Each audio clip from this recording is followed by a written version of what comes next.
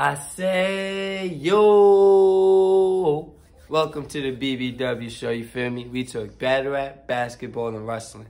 Follow me on Instagram at hoops underscore raps underscore wrestling. Follow me on Twitter at hoops wrestling. I appreciate everybody that subscribed. We're on the road to 300. Let's get it. The topic of today is basketball. More importantly, the LA Clippers. You feel me? The Los Angeles Clippers. Let's talk about it. You feel me? If you don't know, the Clippers have been, they just made one quiet move in the offseason. I don't even know if you could call it quiet. But they picked up John Wall. That's a fake big deal. It'd have been a way bigger deal three, four years ago with Kawhi, PG, and John Wall. But now it's still a big deal. I'm not going to lie. It's still a semi-big deal. Now, this is the Clippers' last chance to win. I'm not even going to hold you. This is literally their last chance to win.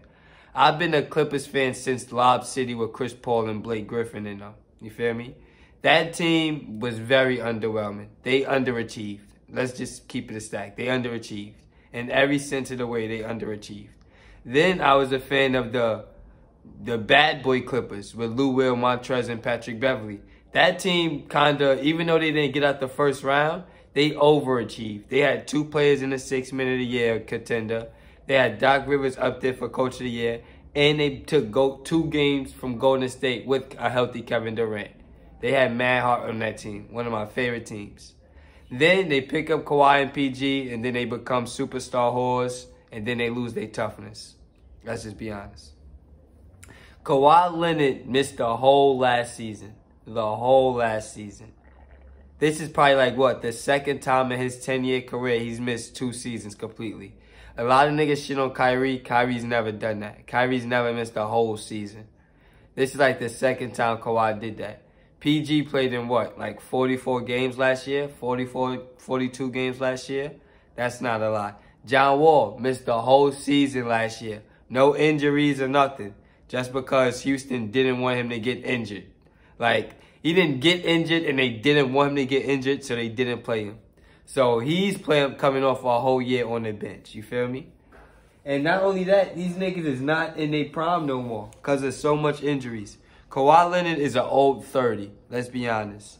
Paul George is an old 32. He's 32, but he play like he's 34 already.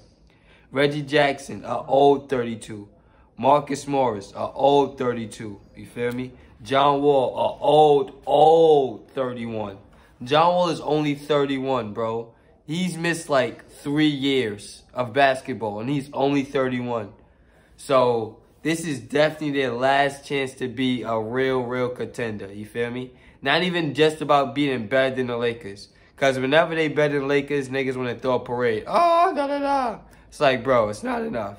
When they make it to the conference finals, oh, parade, da da da. No, it's not enough.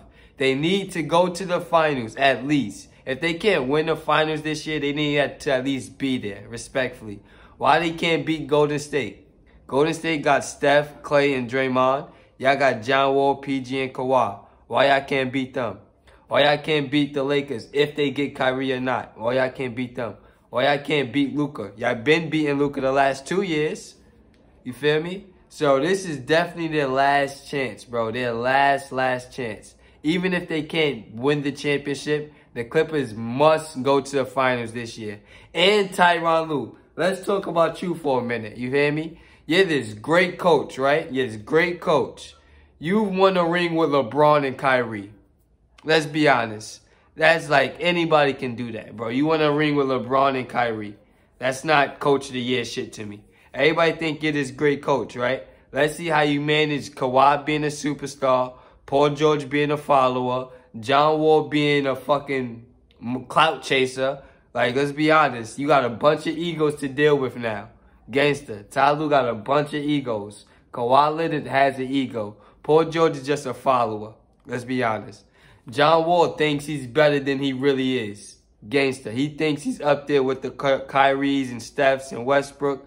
John Wall, you missed that. You missed that bus already, kid. Respectfully. This is the Clippers' last chance, in my opinion.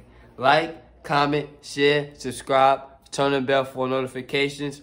On the road to 300. There we go. I'll be back with more.